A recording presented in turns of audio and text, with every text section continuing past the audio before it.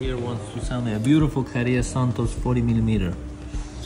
What's the asking price, my friend? I'm asking 6000 for it. 6,000. Retail is 8. Uh, retail is 8200 at the store. But Cartier usually have a little bit discount, you know, on the MSRP. Yeah. Can we get to 5K? To 5k. Yes. Um, highest offer I got it on the building today is um 8250. What? I mean 5250. Okay. I have two. I can get another one. So how much you want to sell it? Right now today I'll leave with 5500 if you want to take it. 5,250? 5500. 5,500? Yeah. 5250 is the highest offer I got it today. I don't know, should I bless him? 5,300.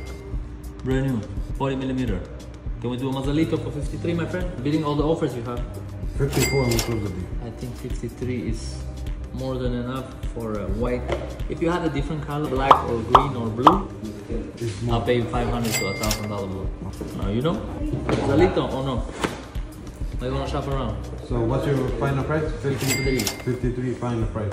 53 final price. Even if I bring you two of them, I don't care. Bring me 10 of them.